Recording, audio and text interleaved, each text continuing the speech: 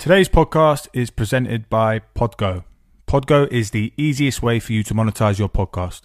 Apply today to become a member and immediately be connected with advertisers that fit your audience.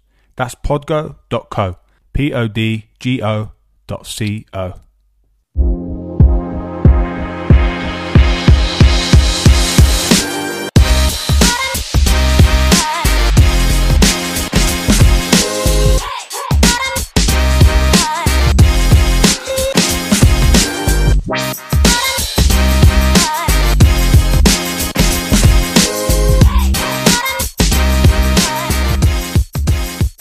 Hello, everyone, and welcome to episode four of the Charlie Chats Footy podcast with me, Charlie Casson. Thank you once again for all tuning in. Much appreciated. Hope you enjoyed last week's episode.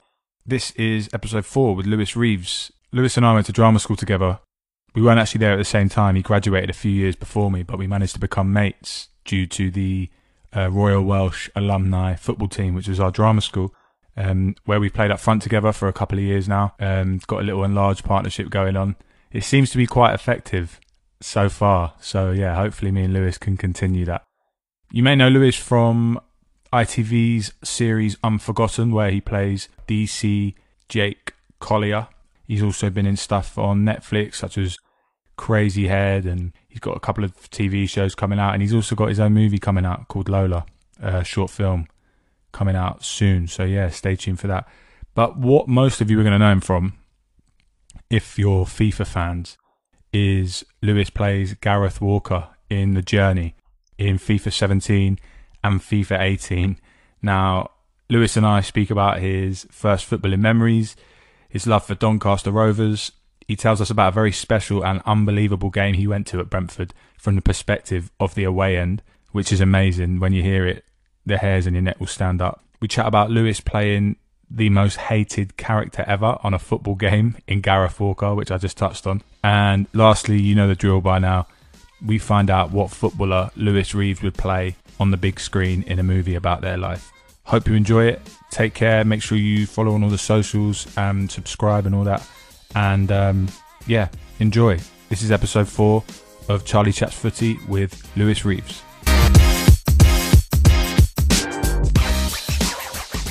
Talk to me about.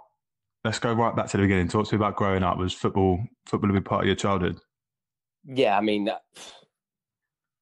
I, think my I can remember being taken to the Belle Vue Stadium, where which was Doncaster Rovers' old stadium, when I was like five, standing on the the terraces with my granddad, and ever since then, it's just like just been injected in me, and that was quite tough because Doncaster Rovers were even you know, probably lower down in the football division then, and they got they had no press or whatever, and everyone sort of from my area supported Leeds. Um, uh, that was which which was sort of quite tough, uh, and I, ever since then I've sort of been up against it with them really. So why why like you said about Leeds? There, you mentioned Leeds. You you're from Yorkshire, then yeah. Yeah. So what you got you've got South Yorkshire, you've got Sheffield United, Wednesday, Barnsley, yeah. Leeds just around the corner as well. Why Doncaster? You can't beat that um, that first time of seeing live football. Like it could have been like it felt like the Santiago Bernabeu stepping out onto the terraces. Do you know I mean? Even though it was like what three, four thousand people, but I'd never seen so many people together at, at one time, and everyone was singing like the same songs. And there was like mates from my you know class who were there and who were there with their dads, and there's just sort of nothing that can re- replicate that sort of like enigmatic sort of atmosphere. And as soon as you get a taste of it, that's it. In it, you're done. You can't like sort of change allegiance or or try and replicate somewhere else. I I was in, and that, and that was it. Which was pretty bad for me because Leeds were pretty good at the time. Wednesday were in and out of the Premier League, and so was Sheffield United. And uh, Doncaster Rovers were dog shit, but but I, but I loved them. Have we just have you just compared to Belle Vue to the Bernabeu? Sorry, we got to touch on that. Um, yeah, but I'm not the only person to make that comparison. when did you leave there? Then was it about 2005 or six? Was it? Yeah, what I mean, Keepmoat still feels fairly new to me, but it's probably like 15, 20 years old now. I had this problem with Barnet when we were at Underhill. You know, it was all terraced and Yeah, it was all standing in it. It had about you know five six thousand capacity, and then we moved to um, a ground where you know it's all seated. We can't fill it. I Mm. mean, what was like what was the transition like to the Keepmoat? You've gone from like terraces and sort of ten thousand capacity to a fifteen thousand all seater. yeah, hosting Elton John. So, you know, um, it was. I mean, I think it's such a hard one, isn't it? Because like the romantic notion of like being on the terraces all together, that sort of like working class feel that they get you. You're as close to the you know the footballers as you can be, but it just doesn't work in the you know the modern day the way you're trying to compete. But the time that the um the Keepmoat came about, um, Doncaster were doing really well. We had like a really, really great team. We had like, Brian Stock, Billy Sharp, um, J. Manuel Thomas was on loan, J- Jamie Coppinger, and we were really, you know, we were in the championship, and we were sort of on the on the fringes of getting a, a playoff spot. So it kind of felt, it all felt really positive. And we had like Sean O'Driscoll in our who was managing us, and it it all felt really good and positive, and like it was the right change, you know, the right time to do it, and it all felt like progress. But um, you know, now when you see like eight thousand people there, or it's not quite making attendance, you do, you know, you do miss the good old days. But I think you always sort of romanticize the past. Mm, for sure. So where's where's the Liverpool connection in all of this then? Um, well, okay. So my uncle Barry, the, the reason I fell in love with Liverpool was a very similar reason why, you know, my granddad took me to see Doncaster Rovers, and my uncle Barry took me to see um, a Liverpool game at Anfield because he was a Liverpool fan. Um, and there was always like a Liverpool connection. Sorry, can you hear the baby screaming in the background there? It's fine, mate. It gives it a bit of effect. Yeah, sure. Just the fans are going mad. Um, we always had like a, a weird Liverpool connection because my, my mum used to cut Kevin Keegan's mum's hair, and the claim to fame in our family is that Kevin Keegan once made my mum a cup of tea, and he used to actually work under my granddad at Pegler's factory. So there's like this weird Liverpool connection in uh, Doncaster. But anyway, that aside, uh, if you can get over that. My mum's not actually responsible for Kevin Keegan's terrible Barnet. But if you can put all that aside, uh, my Uncle Barry, he was just Liverpool sport. He took me when I was probably about eight and like, you know, going from the Belle Vue and then walk, I just remember being being walked out and it was Kop end and just like being just uh, like just so emotional, like almost like quite scared. Like it felt like, you know, like troops on a battlefield yeah, and and since then I've sort of been bitten by two teams. So like when when the topic of like who do you support comes up, you go like oh Liverpool and, and Doncaster. People are like, oh, what the fuck you want two teams? You can't have two teams, which I totally agree with. But at the same time, when you fall in love, that's it. So let's say Doncaster get to the FA Cup final Mm, against Liverpool. mm. I mean, stranger things have happened. Where what what what side are you sitting on? Who are you who are you rooting for? I think I, I was born in Doncaster, so I think I'd probably go go for Donny.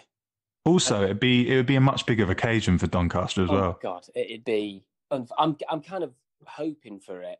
Do you know what I mean? I'm wishing it, but um, I don't think we're in any danger of that. Do you know what? If I've missed football so much, Oh my god, yeah, we had the same thing because I I I I don't know if many people know this. Well, my close friends will, but I'm the same as you. I I grew up on United.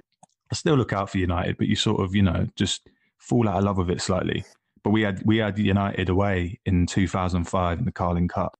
We, our goalie got sent off after 90 seconds. oh my God, I think I remember that. Yeah, he came rushing out. He just picked it up, and the ref just like looked at him, gave him a red, and then they scored from the free kick. So we won nil down with ten men after two minutes. I mean, well, we scored. We scored. That's all we wanted. We scored. We we lost four one. Um, but yeah, it was uh, it was fun. So what's what's your what's your first football memory? It don't have to be about don't necessarily have to be about Liverpool or Donny, but like Mm. looking back, what is your first football memory? My, my I think my first football memory was was was my was my first game with uh with my granddad, and it it was just the worst game of football I think I've probably ever seen to date. Playing Yeovil, and to this day, I've got like this weird hatred for Yeovil. Yeovil's a lovely club. There's, there's, they've not done anything wrong, but just because I think that game was, pissing it down, it was crap. It was a great start. Do you know I mean? I obviously, you know, liked it enough that I kept, coming back. I think the players just kicking the shit out of each other. The ball wasn't going anywhere, and um, uh, it, it, was just it was just crap from from start to finish. Oh, actually, a better story than that um, is we I can't remember what game it was, but Ian Snodin, who used to play for Everton, was our manager for Doncaster at the time, and he was like swearing his head off. I think we were like a couple of goals down, and he was really going into the players like effing and blinding. Um, and my granddad um, leant over um, and said, literally said these words. He went, Ian, do you mind with the language? I've got my fucking grandson here. And my granddad wasn't even being ironic. That was just him, man. And the whole place just erupted. And Ian started sort of waves and sort of said sorry. And I could just remember being like, I don't, I don't think, you know, he sort of came away and he seemed really pleased with himself. But I was like, I don't think you won that one, granddad. So what league? What what league was that then? When you would have been playing oh, Yeovil conference then. Oh, you was down there. You was yeah, right down yeah, there, were you? Early, I think early, early two thousand. We nearly went down. It was it was it was really bad, and then we sort of we just got back to back promotions for like five or six years. Got the new stadium, and then there was this real, this real buzz and this real build of like uh, of what the club was becoming. But I think we just hit. You know, if you look at the championship now, every single team in the championship has been in the Premier League in the last you know 10, Hmm. 15 years. We just, I just don't think we can compete really until you know unless some multi-millionaire comes in. Would I want that? I don't. I don't think so. But it is. It feels like we're very much a middle tier club. Do you know what I mean? We can hope maybe some seasons winning League One, and then we battle in the Championship. There is there is no other way. If you want to be getting top flight football, you you need that sort of that other investment to come in. It would be really exciting. I think it'd be brilliant. Um, ye- oh god, fuck, I don't know. I don't know. I think It's a tough one because then it if you if you get that investment and you and you sort of go up the leads and leagues and you're in the prem and you got a load of money behind you, it sort of then just takes away what made you fall in love with it in the first Yeah, place. Just, that is true. It- It's a tough one. John Ryan, our chairman, did such a great job, uh, um, and he could take. He, he took the club, you know, only so far. He looked over that whole period with Sean O'Driscoll and the, you know, the Keepmoat Stadium, um, and to an element, you know, the old days are over. So I, it's, it's it's not something I wouldn't turn down, but I think you know the club's run really, really well, but I think it can only go so far with its current fan base. Do you know what I mean? If you look around Yorkshire and you've got United, Wednesday, um, Bradford, you know, clubs arguably a lot bigger, and you're going to need a dramatic change in order to to um, to push on really and improve and to attract those, you know, those other players. Now, just talking about, we'll touch on this because, you know, talking about Doncaster going up the leagues and the closest you have been to the Prem has been the Championship. Now, I actually, I, I think this actually gets forgotten about because Troy Deeney done the exact Yeah. same thing, more or less. Um, Brentford v Doncaster, final day of the season. You were in that away end, right? Tell us. I mean, I've heard, I've heard interviews from from Brian Flynn's perspective of it, Coppinger's perspective of it. The most But- important perspective of all, Lewis Reeves's. I mean, tell us what happened. It was so the, the, what was at stakes was if we won, we, we would win the championship uh, and go up. If we drew, um, we'd come second and gain automatic promotion. So yeah, that was, and we were playing Brentford, and now it was it, it was just as equally important for them because they were in the playoffs, and if they won, they would gain automatic promotion. They wouldn't be able to win the league, but they would go um, uh, into go in in second. Which would have put you in the playoffs and Brentford and Bournemouth yeah, automatically. and there was just an atmosphere uh, around the club at the time. Like we sort of teetered off. We, we'd been flying, but the last six games coming to the you know the real you know business end of the season, we just teetered off, and I think we were knackered.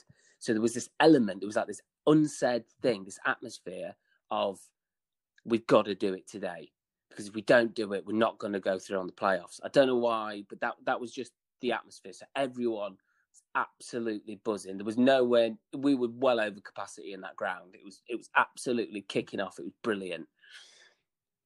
Um, and the game at Brentford, I think we had a few good chances, but I think they were by far the better team. It was nil nil, oh, and it was nail biting. All I can't remember what the minute was when they got awarded the penalty.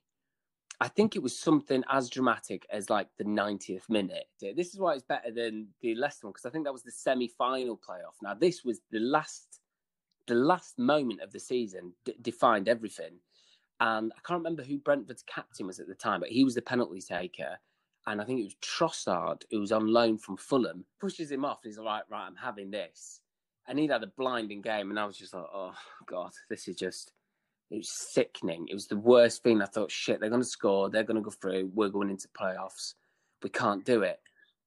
And Billy Paynter had gone out to the halfway line, um, and he was kneeling down and he was pray- praying. Uh, and Brian Flynn said to him famously, "Was like, what are you doing, Billy?" And he was like, "I'm, I'm praying." Uh, anyway, Trotta steps up, smashes it against the crossbar, and the sound around that that it was like we'd scored because we knew we were going up. Um, maybe we we weren't going to win the championship, but we were going up. It comes out. It's an absolute medley in the box, and it clears all the way out to Paynter. So his prayers obviously worked, and he was. I, I don't think he'll shy away from the fact he was a pretty big lad for a footballer. So so hang on two seconds. So Paynter I've seen, I've watched the video endless times. Paynter wasn't there from a managerial choice of stay there tact- for a tactical thing if it gets cleared. He was there because yeah, he was praying. Was I mean, it was literally like the last kick um, of, of the season, right? So he's just praying that they don't score. So the ball comes all the way out to him. Flares go off all around me. The whole place is jumping. Uh, he takes a great touch, and then all of a sudden we're like, "Hang on a minute! they're coming towards us. They're they're in the, the in Brentford's half. Uh, the keeper comes um, charging out, and lo and behold, the legend that is Jamie Coppinger is there, and it'd have been a normal tapping for for anyone else, but the stakes I can't tell you the adrenaline, the stakes were so high that Cops had to take a touch, and it was like the whole world was holding, you know, the breath. He takes one touch, and with the last kick of that game, of the last kick of the season, he scores the goal to make us win the championship. We just went absolutely fucking mental, and I've never, I'll never get a high. It was just you couldn't, you couldn't write it like it was just so perfect. For, from all of a sudden being third in, you know, the ninety second minute, we go to second, then you go to first. There's, there's got to have, that's got to have been the quickest progression you know, in you know, for a final league sort of in history, I reckon it was um it was just unreal. I just went out absolutely smashed. I, I think it is better because the Deeney one, they got to Wembley, but they lost to Palace in the final, so nothing actually ever amounted to from that yeah, goal. Yeah. Whereas you, you won the league.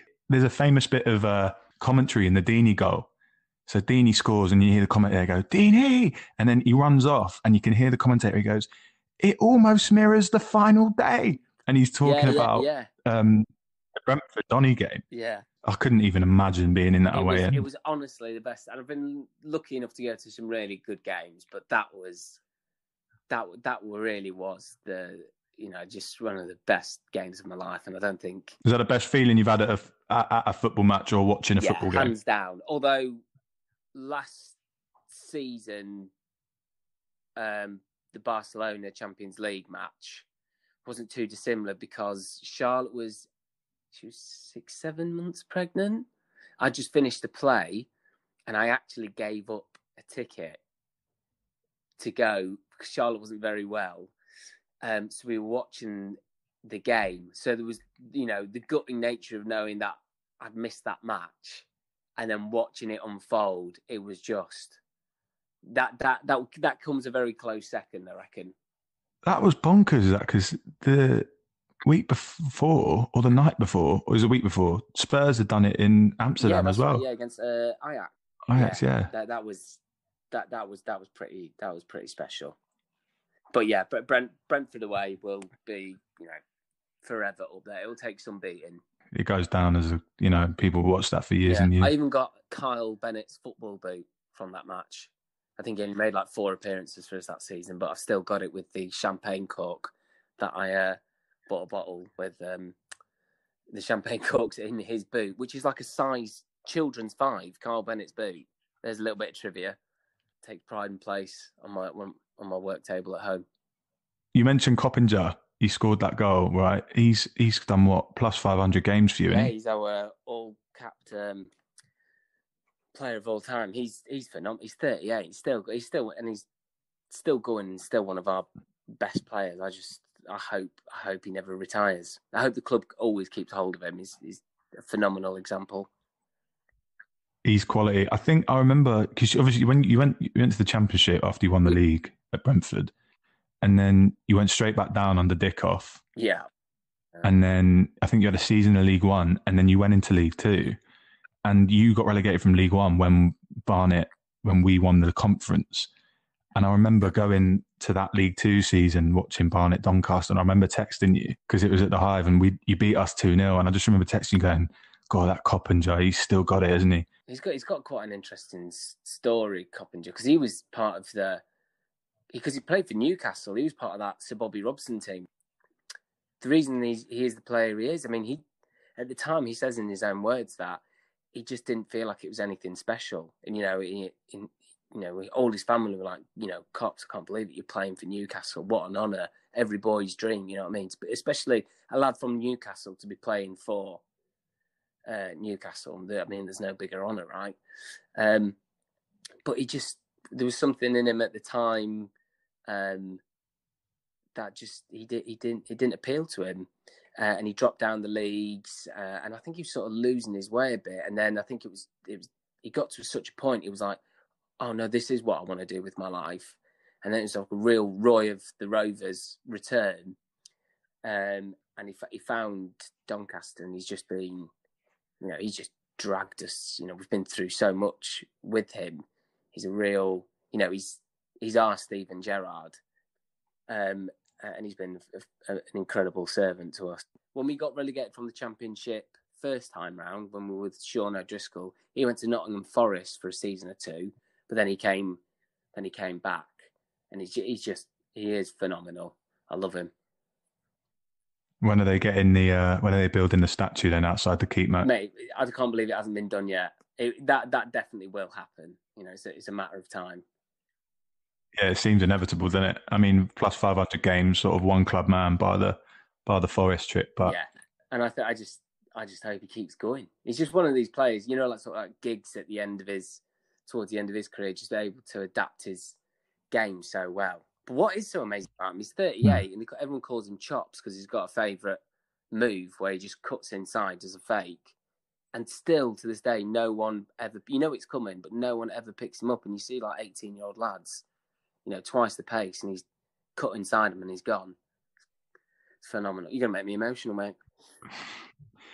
Now, um, we got to uh, like I said, I, I, at this podcast, I, you know, I want to get actors and creatives on talk about footy. Yeah. I don't want to touch on. I don't want to touch on credits. You know, that, that's boring. We we all know what people are up to and what they've what they're right. doing and stuff. However, we have to talk about FIFA. Right. Yeah. This is a one-off because it is FIFA, yeah. right? So, for those of you who don't know, Lewis is Gareth Walker on FIFA's The Journey. Um, now we we've we've grown up with FIFA, right? We've all our generation grown up with FIFA, and when you get it, one of the first things you do, or one of the first things I do, is I try to create a look like of myself, and I try to make him play like myself. Not very good, but I tried to make him play like myself, look myself, have the boots I'd have. And you never get it right. You can never get it right. Whether it's the nose, the ear, the eyes aren't the right shade or shape. It just doesn't work and it just never really looks Yeah. like you. So for you for you to whack on the PS4, put in FIFA 18 or 17 and click on a mode and you are on it. You perfectly looks like you. I mean, surely that's surreal. Yeah, surreal, but I didn't realise how short I was until I saw myself on that game.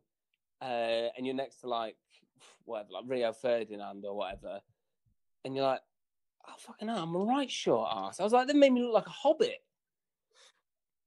Have they adjusted that then? Have they adjusted the height? Because don't you go and isn't it to like to actual size when you when you're filming it? Um, I don't know what they've done, mate, but I'm going to say, yeah, they must have adjusted it because there's no way I am that short. I'm at least six two. They gave you a bit of pace Yeah, though. yeah, I was pretty rapid. They got that right. Yeah, I know you are. You're you're quick anyway. I mean, I played with you a few times. You are quick, but I mean, they've made you. Uh, they've made you even more rapid. Yeah, they, it it was such a surreal experience, even from like um the audition. So it's made at like EA Sports is over in Vancouver in Canada, and they had the Canadians over, and the audition was like, you know, when you go to an audition, you have to sound like non-disclosures. You know, if it's like for Disney or 20th Century Fox, they're really secretive about the scripts. You don't know what you're going in for, right? Um, and I knew it was a game, and it, it was something to do with football. Um, and the, I obviously did all right. We did a couple of readings. I sort of made them laugh, and I think I was in for a different character, possibly Danny Williams or, or maybe even the Hunter character. I can't remember. And then they're like, "Okay, yeah, cool. So we'll um we'll show you guys some footage of what what we're thinking about doing." Um, and then they showed some of the footage, and I was like, "That is you know, I mean, you can, you know what PES is, you know what FIFA is. I was like, that is FIFA, and I just wouldn't let it go. Um, and they're like, okay, cool, yeah. I was like, um, sorry, excuse me, is um, is this for FIFA? And they're like, um, oh, we, we can't really say, but um, you know, okay, we're in the locker room, and I was like, yeah, yeah, but this is FIFA, isn't it? Yeah, yeah, all right, okay, cool. Just quickly, this is definitely FIFA, isn't it? And I think they were like, do you know what? This lad's a bit of a prick. He'd be a perfect Gareth Walker, and I think that's probably what got me the job. So your your your persistence and annoyance of asking them what it is got you I got you the so. role. Yeah, I think so. I think they're like he's kind of funny and a bit annoying. I've got to read. I've got to read you this, Lewis. Okay. Right. So obviously, Gareth Walker is a is a you know he's a character, and I- hope you haven't seen this because because I want your reaction to be like you know you've never Right. heard it before. So I found this on the internet last night. Right. It's from a. it's from a forum called Cultured Vultures. And the headline is We have a new contender for the most hateable game character ever. Right? And the art the little I've taken a little paragraph from the article and it reads this. Step forward, Gareth Walker. Alex Hunter's supposed best friend in FIFA 17's journey mode. From the offset, Gareth is hard to love. Not only is he bumming lifts off his best mate's granddad, but he's also giving lip about it. This can be excused as nothing but youthful scallywaggery. Through a quick look, though a quick look into his chipmunk eyes tell a far bigger story. He is a creation of pure evil, something that should not be released into this world with a, without a powerful spell to let him loose. And his haircut is shit. I can take all that on the chin. I can take the chipmunk on the chin, the behaviour. What hurts is uh, that's my actual haircut. You what? There was there was so much online and Twitter and that um, that my mum, my mum, bless her. So you know, people would be like, "Gareth Walker, you're a prick, you, you snaky twat," and stuff like that. My mum would be like, "Oi, Aaron at one two three. He's not. He's a really nice lad." and I'd have to tweet my mum, being like, "Please, please, can you stop defending me? Just, just leave it out." So what, when you were when you were doing FIFA then, did you did you actually get to play football with any of the pros? Um, no, but they, I mean, going out there was. It, I thought be, we'd be doing lots of um, sort of like simulated football stuff in the mocap suits. But it, it, I mean, they get I think the local team, which is Vancouver Whitecaps, they get in all those boys um, to sort of recreate all that sort of stuff. But g- going to EA Sports Vancouver was literally uh, the little kid in me's dream. It's exactly how you'd think. Like there's big like training pitches there with the EA logo on in the middle. There's like indoor basketball courts. Um, they've got like a club shop, um, which they literally just said to. I mean, uh, the, a few other actors were like, you know, fill your boots, guys. And now I'm not a gamer, but all they they all got loads of games. Um, but there was like loads of like Adidas gear and stuff. I just had a load of that. It was literally, it was a it was a, a foot. It was just a total dream from, from start to finish. It was a uh, I, I loved it. It was great. Yeah, I bet, mate. It's it's like for every football fan's dream and every gamer's dream, is to be on FIFA. Do you yeah, know what I mean? in my It's head at the time, I was like, yeah, I, I was pretending to be a professional footballer. Do you know what I mean? Um, and everyone was lush to work with. It was great. So, any player in the world, past or present, you can play them in a Hollywood blockbuster biopic of their life, Yeah. right? All rivalries aside, forget about like your alliances to your clubs and stuff. Who, who are you playing? Whose whose life story would you want to portray on the big screen? I've, I've watched the documentary on this guy recently, and I think it'd have to be. I'm going a bit left field. I'd go for someone like Stanley Matthews. He was like one of the most fittest footballers um, around, and he played through through the like his career had like a 10, 15 year gap. I think from the age of like 35 until his late 40s because of the war and things like that. Um, so I think I always think someone like him would be would be amazing. He's got an incredibly inspiring story. He was sort of like ahead of the game, like how athletes are now. Like you have like Ronaldo, who's just like the peak of like physical fitness, isn't he? Well, Stanley Matthews, his dad was uh, a boxer, so he knew all about nutrition um, and, and training. He trained two or three times a day, whereas other footballers of that time, you know, would would show up, they'd kick a ball about, but that that'd be it. it. He was, you know, he'd run on the beach a few miles before before training every day before going to play for like Blackpool and Preston, and he's he's a real working class hero. I think he's got a really really uh, interesting story. I think maybe him. Interesting. I wasn't I think expecting that. because I watched the documentary recently. I think it's on like Amazon or something. But he's always uh, it, that name's always been edged into my mind, but probably because of people like my granddad and my uncle who sort of idolised him. But he's sort of forgotten about because he's not a direct. You know, we we didn't get to see him play as such, but his his story would be. I think I've always thought it'd be an amazing film. I think I'd go for someone like him, him or Dean Windass. I used to get called Dean Windass at school. No. Were you a Yeah, mate. at school? I was a porker, yeah, and I used to play up front. So they used to call me Dean Windass or Emile Heskey. that is amazing. But I preferred Windass just because I thought he was a bit more of a baller than Heskey. But he never made it in the England squad like Heskey did. Actually, that's being harsh on Heskey. Heskey was decent. Heskey gets so much stick, but I mean, Heskey and Owen, they were just formidable. I feel like Heskey and Owen like started off the little and large They, phenomenon they up were, front. they were the true combo. I mean, that whole Liverpool squad, that those those two as pairing, I think were probably one of the most underrated pairing that, that there was.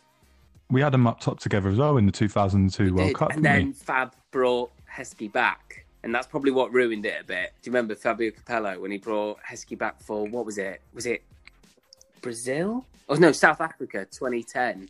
Oh God, yeah, and he'd sort of had He his really day had then. His day, but he was like, "Fuck it, it's, it's a free holiday." Lewis, thank you very much, mate, for coming on the podcast. It's been an absolute pleasure. Mate, the pleasure was all mine. Anytime, mate. Anytime. I loved it. Nice one. Rovers.